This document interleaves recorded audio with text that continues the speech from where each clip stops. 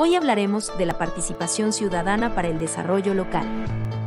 La participación ciudadana es el derecho y la oportunidad que tienen las personas de manifestar sus intereses y demandas de manera activa y responsable a los gobiernos locales, regionales y nacionales.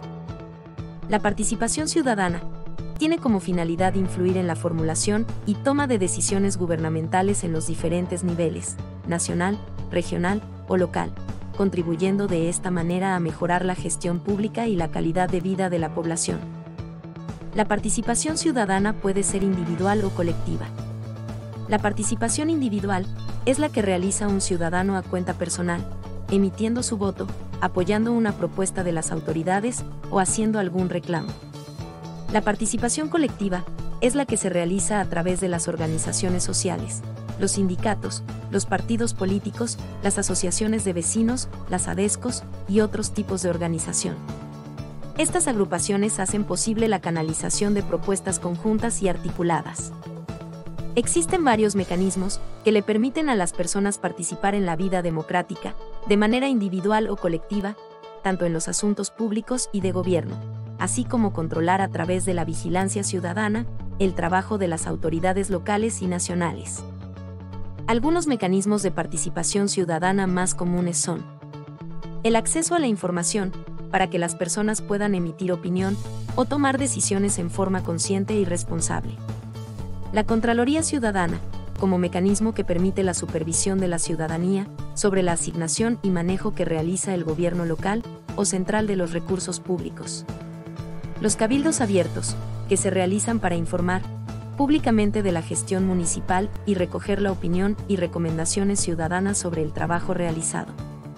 Los foros consultivos o sectoriales, que son convocados por el gobierno municipal o nacional con el propósito de consultar políticas o medidas relacionados con un sector determinado. Los programas de radio o de televisión con teléfono abierto, donde el gobierno municipal o nacional presenta a la audiencia y teleaudiencia su visión sobre diferentes problemas locales y recibe sus preguntas, opiniones y sugerencias. La consulta vecinal, que sirve para que los habitantes del municipio puedan emitir sus opiniones y formular propuestas para la solución de problemas o necesidades que aquejan a sus comunidades. El plebiscito, que es un instrumento a través del cual el gobierno municipal o nacional consulta a los ciudadanos sobre un asunto determinado para que expresen su aprobación o rechazo por medio de votación secreta. Las sesiones públicas del Consejo Municipal, que es un espacio para que la ciudadanía pueda presenciar las formas de sesionar y proceder de estos actores y conocer decisiones estratégicas. Los buzones de sugerencias, que son instalados en las instituciones públicas para que la ciudadanía pueda hacer llegar críticas, observaciones y sugerencias. Existen otros mecanismos para fomentar la participación ciudadana, cuya implementación depende de la apertura e interés que tengan las instituciones de gobierno local o nacional para compartir las responsabilidades, al tomar decisiones e implementar acciones que tendrán impacto en la población.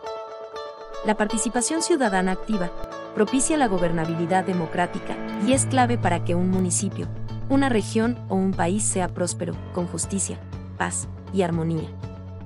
Debemos tomar en cuenta que la participación ciudadana es respetar las opiniones de los demás y ejercer nuestros derechos y obligaciones adecuadamente, porque si todos hacemos bien las cosas, estamos más organizados y llegamos a más acuerdos para avanzar en el desarrollo local, territorial y nacional.